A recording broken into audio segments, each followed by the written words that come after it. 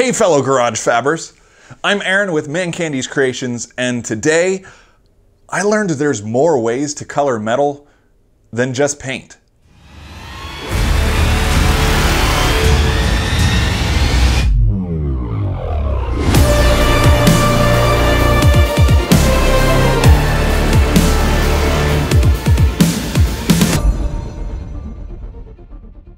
If you're just joining Garage Fab, in the last video we used a really fancy homemade tool to make miter cuts in some 3 inch square steel tubing.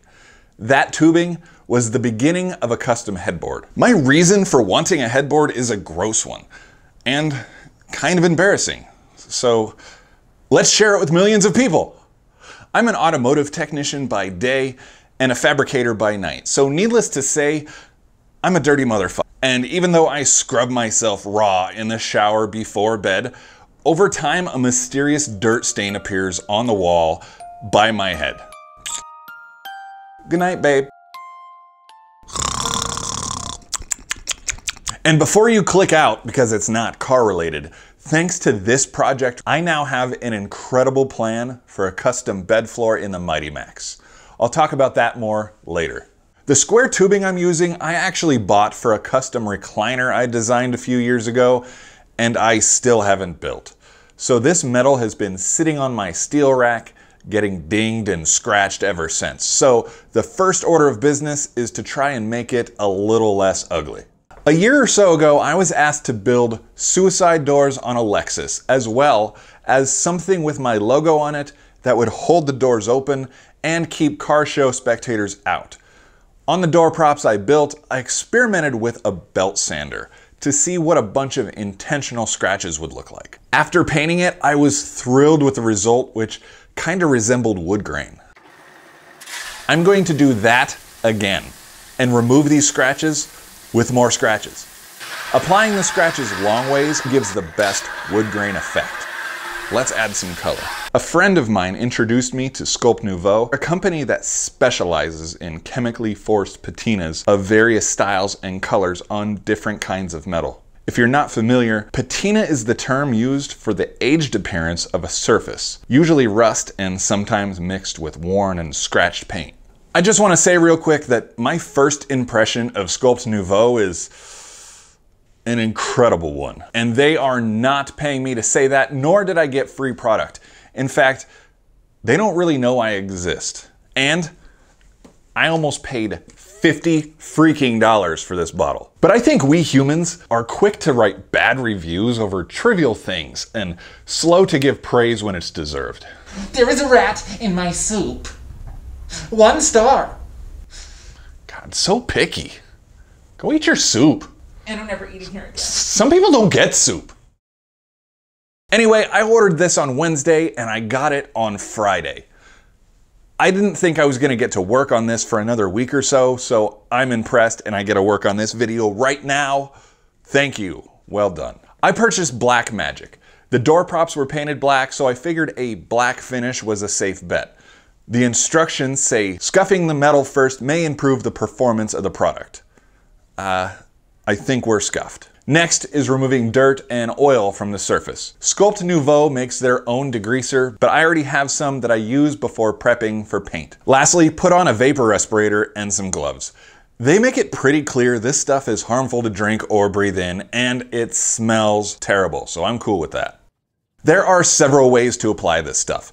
It comes in a spray bottle, so you can use that. You can blot with a sponge. You can soak smaller pieces, or brush it on. I'm going with the brush method, which I will apply in the same direction as the wood grain. If brush strokes are a thing with this stuff, I think they'll either be hidden by the scratches or they'll enhance the scratches. I'm okay with either of those, and I think I'd like to waste less product by avoiding overspray because 50 freaking dollars. It appears to do its work almost instantly, but they say to let it sit for a few minutes and then rinse it off. Rinse with water while rubbing lightly until all the product is removed and the water runs clear. Remember, this isn't paint. It's a chemical process that's actually altering the surface of the metal so you won't be rinsing off the color. I'm gonna set the pieces in the sun so they can dry and we'll check it out. The frame pieces are done drying in the sun and I am not happy with the finish at all. And let me be clear, I think the product is doing what it's supposed to be doing and doing it very well. My issues, I think, all stem from my lack of knowledge and experience applying this stuff. Let me explain. First of all, I don't like the rust color. It's kind of cool looking, but it's not what I'm going for. This is Sculpt Nouveau Black Magic. It's supposed to be black, and it's it's not black. So what I think that is is surface rust from letting it dry naturally. If you've ever gotten bare metal wet, you would know how quickly the surface rust forms as the water dries. I think drying with a towel will help quite a bit, and I'll be adding a clear coat later, which I really think is going to bring out the black, and I don't think the rust color is going to be an issue. Some other issues I have are some splotchiness where the pieces were sitting on the sawhorses, some runs, more application issues, and some fingerprints from where I touched it while the product was still wet and working. The instructions say that you may need to add multiple coats to get the finish that you want. So I'm going to add another coat, but this time I'm going to do several things different in hopes that I get a little bit better result. One, I'm going to do each piece individually so I can focus on getting a good quality coat on each one and I won't have to touch them while trying to move them around to get the other pieces. So one piece at a time and when they're done, I'm going to rinse them and dry them with the towel immediately and we'll see how that looks.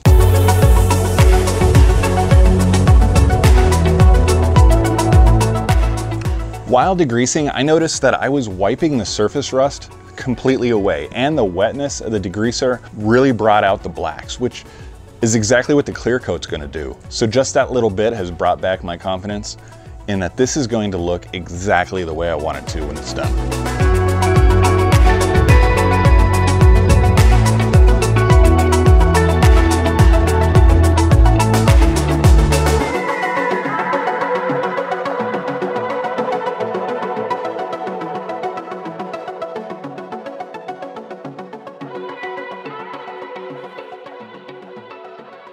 So much better.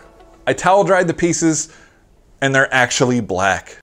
I'm super happy with how the metals turned out, but before I hit it with clear coat, I'm gonna weld everything together because there's a couple welds that you're gonna see and my plan for this is to not see any welds. So I'm gonna have to grind down those few welds and refinish them to match the rest of the metal.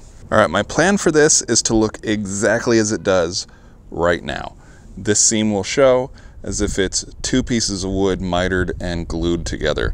The only welds are going to be on the very back where you can't see right now, and this outer corner right there, which will get ground down and refinished to match.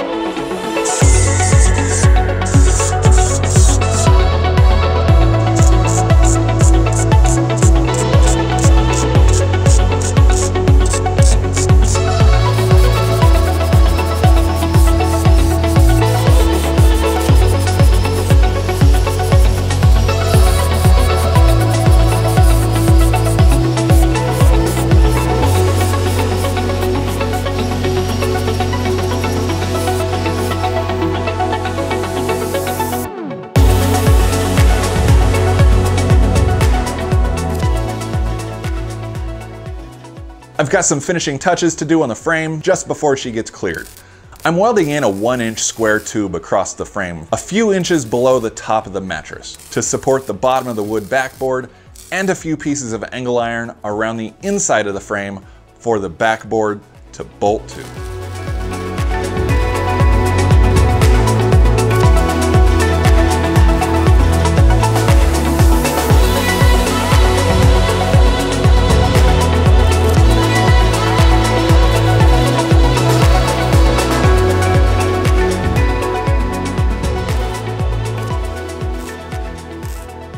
I'm gonna degrease one last time and this frame will be ready for clear. so the most incredible thing just happened. I decided not to film the last degreasing because it was getting redundant, but this time the microfiber towel I was using started to come apart in my hands. Maybe the degreaser finally started eating the fabric or something, but the frame was covered in fibers and bits and pieces of towel. And I tried brushing this fuzz off and wiping with a new towel and nothing was working. The fuzz just stuck. So I grabbed a Scotch-Brite pad to see if that would work. It certainly did, but not without taking off some black. I was like, bummer, I'm gonna have to do a third coat, and I don't wanna do that because lazy and 50 freaking dollars. I'm smiling though because I realized that the Scotch-Brite pad was taking off some black, but some of the bare steel started to peek through, and the result was sort of a gunmetal gray wood grain, and it looks amazing.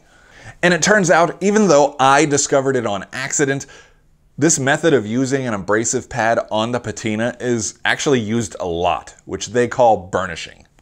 Hmm. Now, it's time for clear coat. Clear coat is necessary because even though it's a different color now, the metal is still bare, which means it can still oxidize, it can still rust, and change color over time. Also, this finish is technically a rust itself, and rust rubs off. The clear will seal it back so our hands won't get black and ruin our sheets. I didn't want a shiny look though, so I went with a matte clear. I can't really express how excited I am with how this finish turned out, but I can tell you that I've decided to use this method on the bed floor in the Mighty Max. My original plan was to do a wood floor and either char it black and cover it with epoxy or try to somehow dye the wood pink to match the paint. But I think the gunmetal wood grain will look so much better.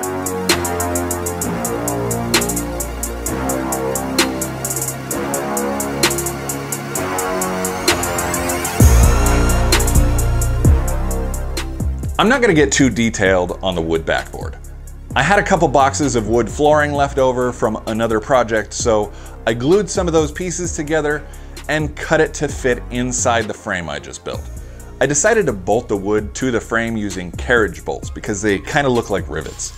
Carriage bolts come zinc coated a bright silver and have numbers on the heads. I decided they should probably match the frame, and applying the Sculpt Nouveau directly to the zinc created some really strange results. So I decided to remove the zinc and the numbers by chucking the bolts in a drill and hitting the heads with a flap disc. Adding the patina to the bare steel looks much better, and of course I had to scuff the heads with Scotch-Brite.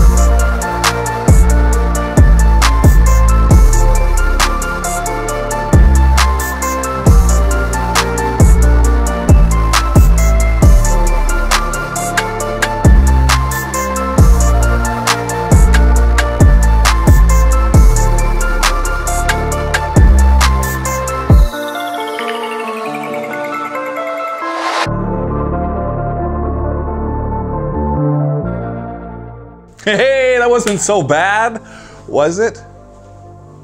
Hello? Wow. Almost everybody left. It's just you and me now. Oh well. Until the next one, my friend. My true friend. You right there. Keep moving forward.